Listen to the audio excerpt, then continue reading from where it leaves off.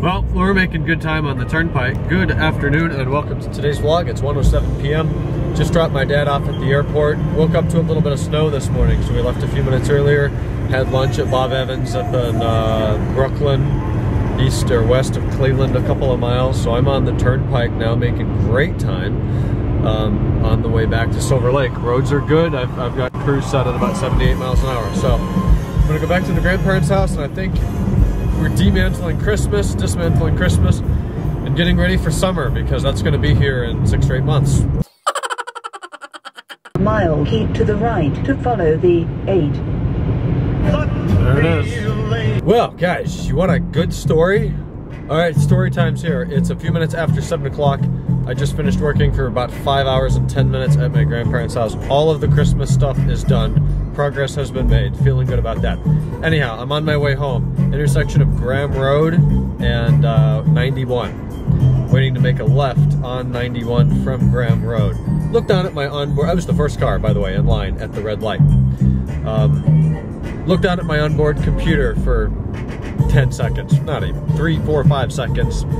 Look back up and I noticed that uh, the, the car that would have been coming straight through the intersection uh, against the, the, way that I would be going if I were going straight, their headlights were off. And I thought, why are your headlights off? It's seven o'clock. I mean, it's really pretty dark. Um, I got a better look at it. It was a BMW, and I thought, oh, that's an E34. Well, it took me a few, few seconds to see in the darkness it was a E46 3 Series, not a older 5 Series. So, um, I wondered, like, why the lights off? So I looked behind it. There's this white pickup truck. Looked like a, uh, an older, turned out to be a Dodge Ram, old one, probably late 90s, early 2000s. And uh, it had rear-ended the BMW. Hood was all crumpled in, you know, turned it into a mountain. And uh, the guy got out of the, the 3 Series and turned around to face the guy who rear-ended him. Well, he didn't want any part of that, he decided.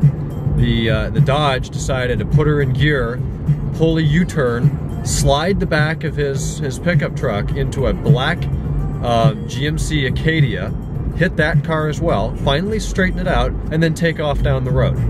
So I'm standing there with my jaw open, like, did I seriously just watch this guy smash into two cars, one of them's a BMW, and then run? So I get my green arrow, right? Hell no! I'm not going left.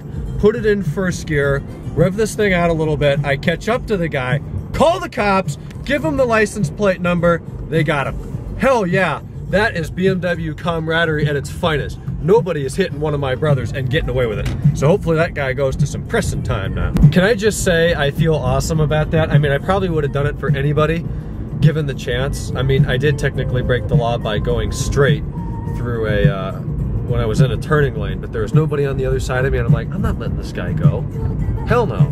So we got him. I got him, I got him, I got him, I got him. I am now home. It's 12.40 in the morning. I was over at Kenan's house for a little bit, updated the entire service history of my car document. Uh, since we got it, I have kept a um, spreadsheet, an Excel spreadsheet of the date I've done anything, um, part prices, part descriptions, and mileage of the car when I've done anything to it. And I've just added two fields, quantity, if I ordered a couple of things, I now have a quantity box, and the part numbers box. So it took me forever to go through the 167 different instances of service I've had since I bought the car and update all of that. So I did that. Anyways, I have energy. So we're going to de-Christmasificate. This is the before view. I don't know how much I'm going to get done tonight. Probably not everything because it's 1240. So, we're going to get to work.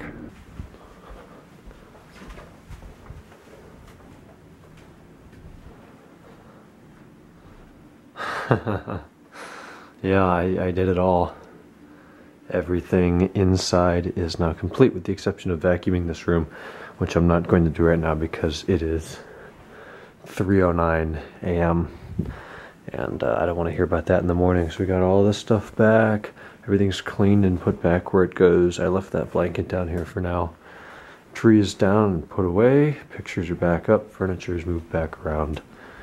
Everything inside the house is done and very neatly packed and put away.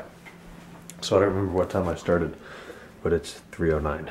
So I'm gonna go up, jump in the shower, do some emails, watch YouTube, go to bed. Tomorrow's Tuesday, the last day of this year. The only thing I, I didn't do inside is uh, the candles in the windows, and that takes five minutes, 10 minutes. So I'll do that tomorrow. And I'll talk to you tomorrow. Good night.